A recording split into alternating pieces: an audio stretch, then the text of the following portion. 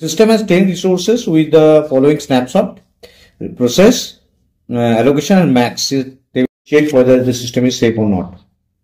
First of all, we need to find the available. Available mean available resources. Available equal to number of uh, system resources are 10 and already allocated 3 plus 2 5 plus 2 7 mean 3 plus 2 plus 2 that is equal to 7 10 minus 7 equal to 3 so available equal to 3 need equal to max minus allocation.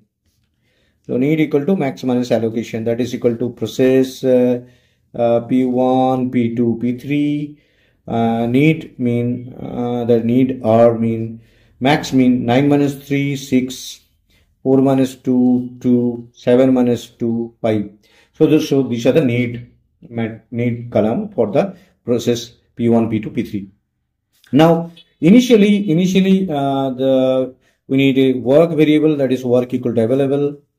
Work is initially stored uh, available available equal to 3 and finish there is a finish vector finish uh, 1 equal to false finish 2 equal to false finish 3 equal to false. Finish is a vector to indicate whether the process finishes the execution or not. Initially it is false false false. Now we need to check when i equal to 1 is uh, need less than equal to work need less than equal to work uh, need mean the need of p1 that is 6 less than equal to work no mean uh, next we will check. 2 i equal to need less than equal to 1 need is 2 and less than equal to 3 yes and finish is finish uh, 2 equal to false yes yes is mean work equal to work plus allocation. Work equal to 3 plus allocation mean allocation of 2 that is equal to 5 now finish is now uh, finish is now finish 2 is true. Now when i equal to 3 that is mean again need is need is 2 2 less than equal to uh, need less than equal to work. Yes 5 2 less than 5 yes. Then uh, finish 3 um, equal to false.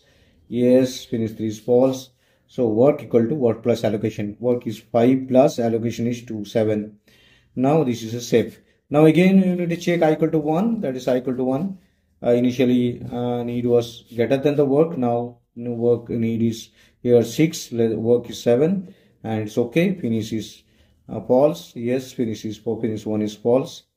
Uh, so work equal to work plus allocation? Means 7 plus 3 10 so all the processes are released and saved sequence is uh, this uh, P2, then P3, and finally P1. So we can say the system is in safe.